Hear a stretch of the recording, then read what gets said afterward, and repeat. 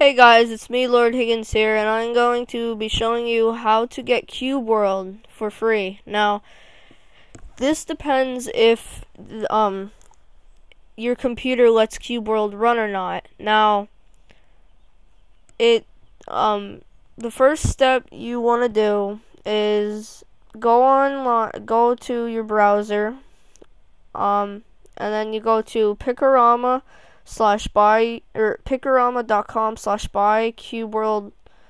And you should um it should bring you up to this page. Now um this is cube world pretty much. Now after this you want to go to download and install latest directx uh, whatever that is. Now this is the test if um cube world server or not now, if it doesn't work, then you cannot install it. Um, I'm not sure why, but it's just your computer then.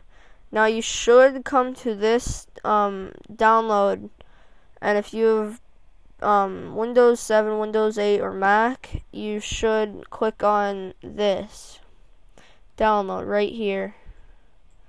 Now, um, after you're done that, I already have it installed, so sorry, lag. So I'm not to install it again. Now, you should get this Cube World. sorry about that. You should get this Cube World file on your desktop after you're done downloading.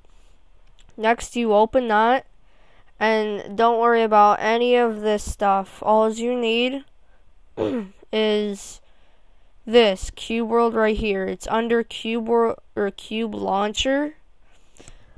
But just open just don't open anything other than this. Just cube world application, okay?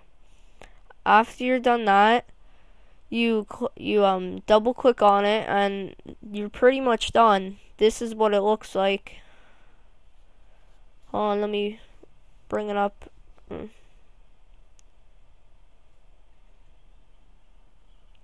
Might take a little while. My computer's a little slow. In the future, I am um, going to get a new laptop. So, hopefully a gaming laptop. And here it is. This is pretty much Cube World. No, I'm joking. It's not this, but hold on. Let me bring it up. Yep, this is Cube World. Here it is. It's the real thing. Currently, there is no other update than in Cube World. It's only alpha.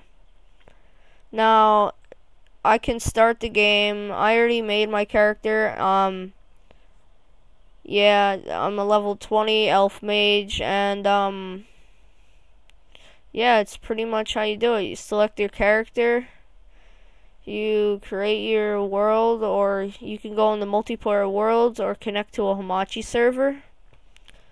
And that's pretty much it. Don't forget, if you like the video, don't forget to like, comment, and subscribe. See ya.